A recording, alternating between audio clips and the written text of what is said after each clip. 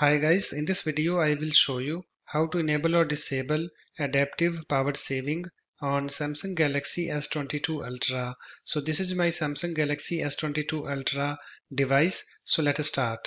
So first of all you have to open your settings app. So here is my settings app. Let me tap on it to open it.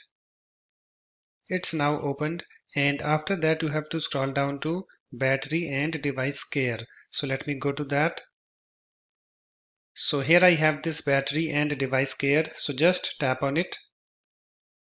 And then tap on these three vertical dots at the top right. And then tap on this automation. And I have this automation. This is screen opened. And on the screen you can see here we have this adaptive power saving.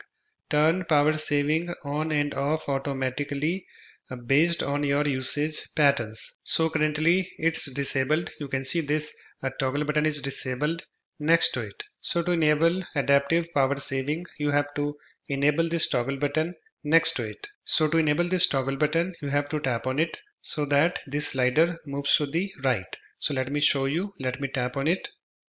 And you can see guys, it's now enabled. And whenever you want to disable adaptive power saving, you have to disable this toggle button next to it. So to disable this toggle button, you have to tap on it so that this slider moves to the left. So let me show you. Let me tap on it. And you can see guys, it's now disabled. So just select the option that you want. So I want to enable adaptive power saving. So let me enable this a toggle button. You can see it's now enabled.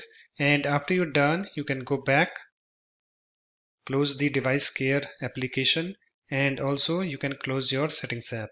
So that's it. In this way you can easily enable or disable adaptive power saving on Samsung Galaxy S22 Ultra. If you like my videos, please support this channel by subscribing to it. Thanks. Bye bye.